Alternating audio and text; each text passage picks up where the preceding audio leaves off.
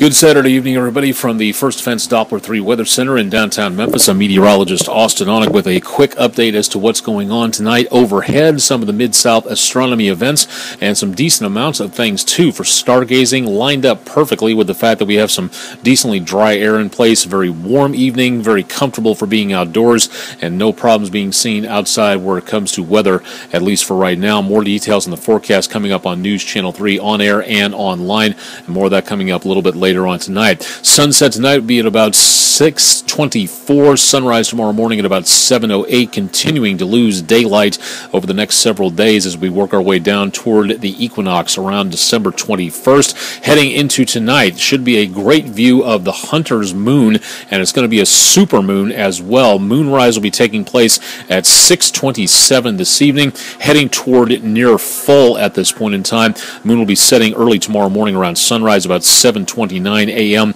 and rising again a little later tomorrow night at 7:10. But again, 6:27 tonight, and again that will be something to see. It'll be a little bit larger as a supermoon. If you're going to be taking a look at that, the next three moons will actually be supermoons, uh, getting a little bit closer to the Earth than what we have seen in quite some time. So it will be just a bit bigger than what you have seen into parts of the last several months and weeks. So if you'd like to see a supermoon, today and tonight is your best chance, and then also into November and December as well. Viewing conditions outdoors tonight, not looking too bad. Seeing again some pretty quiet conditions and dry out there.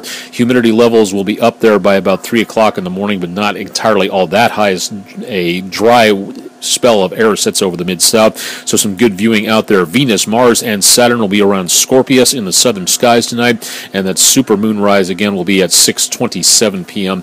on Saturday. Coming up tonight, several uh, flyovers of various satellites.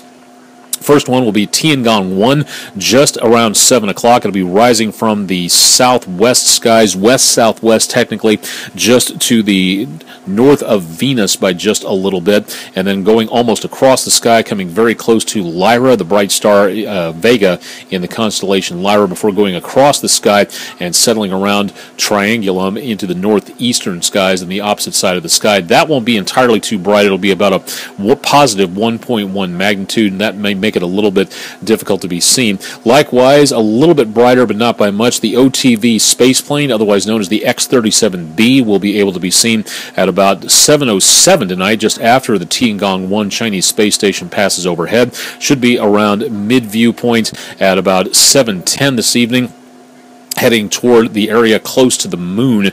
By the time it hits about 7:12 tonight so a good opportunity to see that. And a super bright but very close to the horizon view of the International Space Station. That'll be taking place at just after 7:24 rising just underneath the Big Dipper. North northwesterly skies and then fading just before about 7:27 or so between Camelopardalis and Perseus over around the northeast horizon as it fades into Earth's shadow. We'll have updates on this available at wreg.com slash weather, and also on my social media pages, Facebook, Twitter, Instagram, blah, blah, blah, all that stuff available if you want to take a look at what goes on there. And, of course, we'll talk about weather and the complete forecast coming up tonight on News Channel 3 at 6 and 10, providing the Alabama Tennessee game gets over with here right about on time. We'll have more details also again WREG.com, so stop by and learn more about weather and tonight's astronomy viewing at those locations. I'm meteorologist Austen Onek. Thanks for joining us for tonight's Mid South Astronomy viewing with Skyblog 3.